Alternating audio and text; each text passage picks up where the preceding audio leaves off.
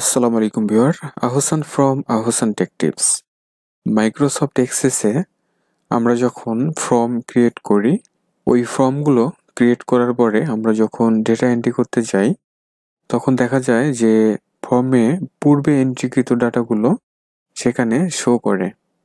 অর্থাৎ ফর্ম যখন ওপেন করা হবে, সাথে সাথে কিন্তু ওই প্রিভিয়াস ডেটাগুলো দেখা যায়।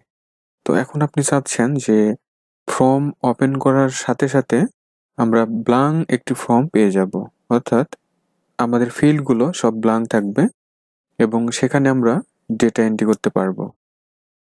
তো এই ব্যাপারটি মূলত দুইটি পদ্ধতিতে করা যেতে পারে। একটি হচ্ছে ভিভিএ কোড ইউজ করে এবং আরেকটি হচ্ছে ম্যাক্রোর মাধ্যমে। তো দুটি স্টেপে আমি দেখাবো। তো আমি চলে যাচ্ছি আমার মাইক্রোসফট এক্সিস ডেটাবেস প্রজেক্টে তো দেখুন, এখানে দুটি ফর্ম আমার ক্রিয়েট করা আছে। কাস্টমার ইনফো ফর্ম যদি আমি ওপেন করি, তাহলে দেখতে পাচ্ছি ব্লাং একটি ফর্ম কিন্তু দেখা যাচ্ছে।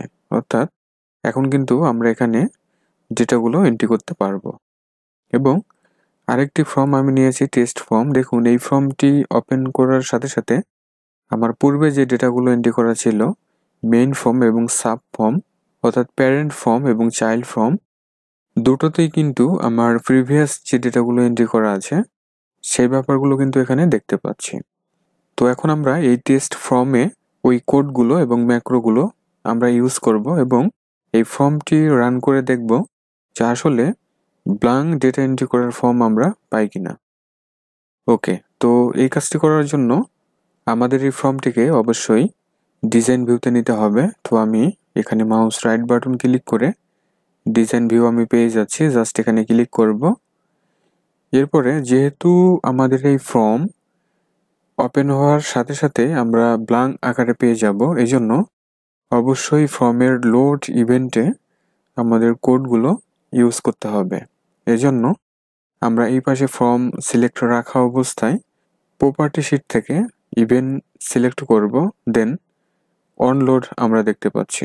অনলোড থেকে আমরা এই ড্রপ ডাউনে ক্লিক করব দেন ইভেন্ট প্রসিজিওর সিলেক্ট করে আমরা বিলটে ক্লিক করব, তাহলে ভিভিএ কোড উইন্ডোতে আমরা প্রবেশ করতে পারব। এখন এখানে আমাদের ছোট্ট একটি কোড টাইপ করে দিতে হবে, আর সেটি হচ্ছে to command dot go to record আমরা নিয়ে নেব। গো টু টাইপ করার সাথে সাথে আমরা দেখতে পাচ্ছি গো টু রেকর্ড আমরা পেয়ে গেছি। জাস্ট স্পেস বাদ দিয়ে আমরা এটিকে সিলেক্ট করে নিব। দেন আমরা ডাবল কোমা ইউজ করব।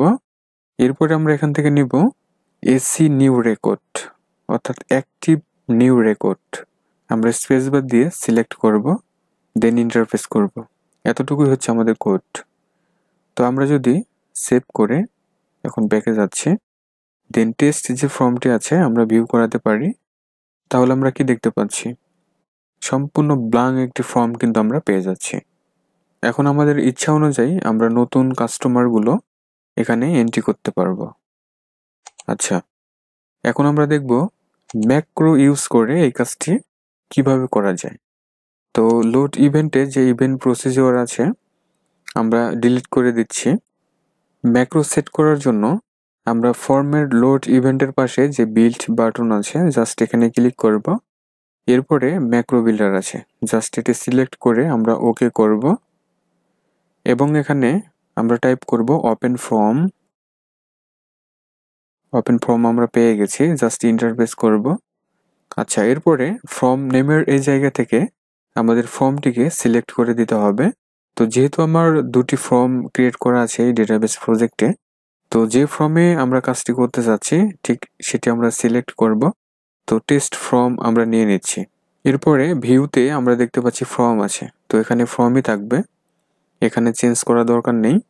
এরপরে আছে ডেটা মোড আমরা ডেটা মোডে এখানে ক্লিক করলে ড্রপ ডাউন পেয়ে যাচ্ছি। এখান থেকে আমরা অ্যাড সিলেক্ট করে নিব। দেন আছে উইন্ডো মোড উইন্ডো মোড আমাদের চেঞ্জ করা দরকার নেই। এবং আরেকটি অ্যাকশন আমরা নিয়ে নিতে পারি। সেটি হচ্ছে go to record go to record নিয়ে আমরা ইন্টারফেস করব। তাহলে অবজেক্ট টাইপের এই ড্রপ ডাউনে ক্লিক করে আমাদেরকে এখানে ফর্ম দেখিয়ে দিতে হবে। তো আমরা ফর্ম এখান থেকে সিলেক্ট করে নিচ্ছি। দেন অবজেক্ট নেম আছে। অবজেক্ট নেমের ড্রপডাউনে ক্লিক করে আমরা ফর্মটি দেখিয়ে দিতে পারি টেস্ট ফর্ম এবং আছে রেকর্ড রেকর্ডের এই ড্রপডাউনে ক্লিক করলে আমরা এখানে বেশ কিছু অপশন পেয়ে যাচ্ছি। এখান থেকে নিউ আমরা সিলেক্ট করে নেব। দেন অফসেট আমাদের দরকার নেই, বাকি এভাবে থাকবে। জাস্ট আমরা সেভ করব দেন ক্লোজ করব। এখন যদি আমাদের এই ফর্মটিকে ওপেন করি, তাহলে দেখুন ম্যাক্রোর মাধ্যমে কিন্তু নিউ ডেটা এন্ট্রির একটি ফর্ম আমরা পেয়ে যাচ্ছি। আচ্ছা যদি আমরা ম্যাক্রো বিল্ড করে এই কাজটি করি, তাহলে আমাদের সেটিংস কিছুটা পরিবর্তন করা লাগতে পারে, অনেক সময় এমন হয়।